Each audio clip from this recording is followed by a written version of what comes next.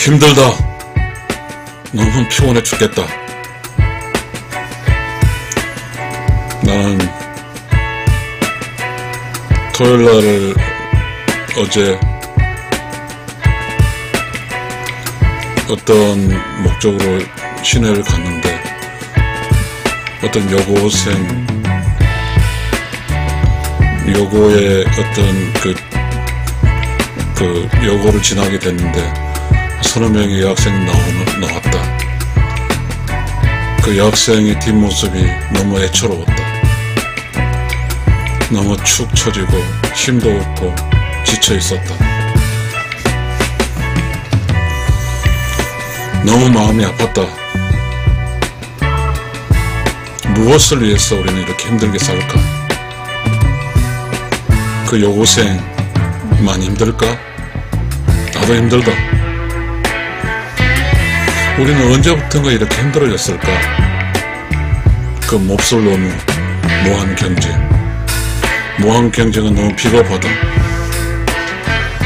이 세상은, 이 세상은 힘이 있고 능력 있는 사람만 살아는, 살라는 이야기다. 너무 잔인하다. 그래서 우리는 무한 경쟁에서 지지 않기 위해서 죽을 힘을 다해 산다. 그러니 모두가 힘들 수밖에 없다. 우리는 그 무한 경쟁이라는 말도 안 되는 그 힘든 그 경쟁에 뛰어들어 있고 우리는 그래서 나의 앞길만 보지 옆길 좌우를 보지 않는다. 다른 사람이 내 옆에 죽어가도 나는 그 사람을 보살필 만한 여유도 없다. 더불어 나는 지쳐있기 때문에 다 이 사람 나의 내일 외의 모든 건 다 짜증스러운 일들이다. 모든 사람이 짜증스럽다고 한다. 짜증스럽단 말이 그렇게 듣기 싫다. 모든 사람은 아이고 아이고 소리를 한다. 어디로 가다 가, 나는 어디로 간단 말인가. 우리는 그렇게 살고 있다. 그래서 우리는 먹고 사는 문제와 조금은 돈을 많이 가지는 그런 것을 얻을 수도 얻었, 얻은 것 같다. 대신에 우리는 항상 피곤해 있어서 매 시간에 경쟁사에서 모두 쓰고 와서 가족에 들어와서는 오직 가족 모두의 피곤한 모습들 뿐이다. 그러니 가족들을 모두는 가족들 간에 서로 여유 있는 에너지를 가지고 이야기할 수 없고 아빠 나 피곤해 엄마 나 피곤해 나 잘 거야 이렇게 시작되고 있다. 무엇을 위해서? 그렇게 우리는 살았다. 10년, 20년 그렇게 무한 경쟁을 살았다. 우리는 이 무한 경쟁이라는 소리에 떠나 멋있는 이야기 나만 아니면 돼. 이 이야기가 거침없이 예능 개선 쏟아진다.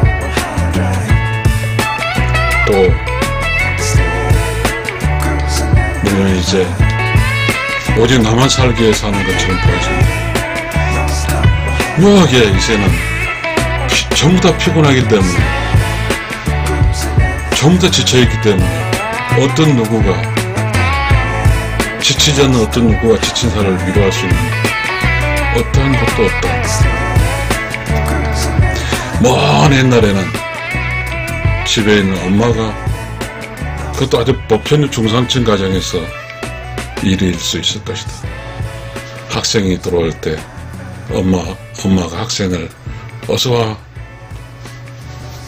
맛있는 거 해줄게 라는 그 조금은 힘 축적된 엄마가 있었는데 이제는 집에도 엄마가 없다.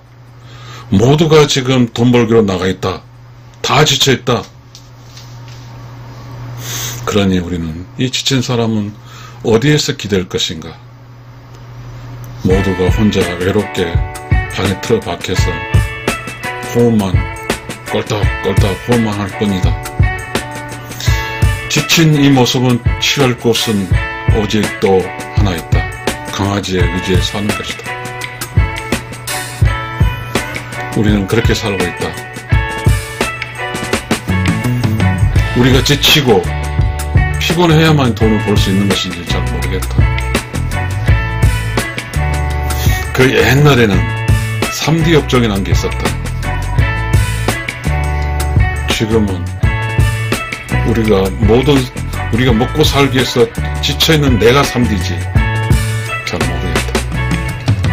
사는 게 왜 이렇게 힘들고 항상 피곤하고 항상 지칠까?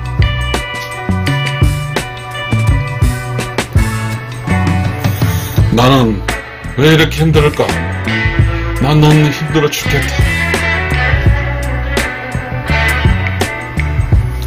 그래도 나는 정년을 해서 조금 쉬고 있는 축에 우리 라이프 사이클 속에서 조금 쉬는 축이다. 그렇다고 뭐, 몇 가지 쉴 수 있는 것도 아니지만 좀 우리 사회가 뭔가 지금 우리가 살고 있는 이곳에 뭔가 무엇인가가 잘못됐는지 모르겠다.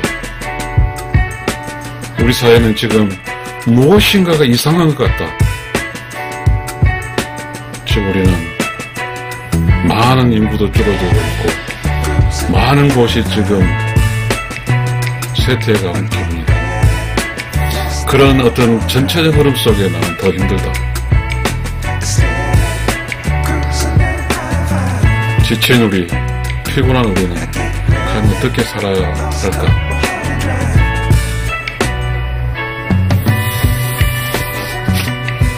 우리는 내가 지쳐있어, 내가 피곤해서 난 늘 짜증스럽다. 그럼으로써 나와 함께 사는 사람 모두가 나의 피해자가 생겼다. 나 역시 나, 나 옆에 주변 사람들이 늘 피곤해 있고 늘 지쳐있어 나에게 짜증을 팍팍 부린다.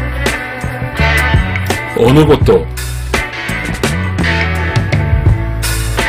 내가 마음 붙일 것이 없다. 모두가 피곤하니까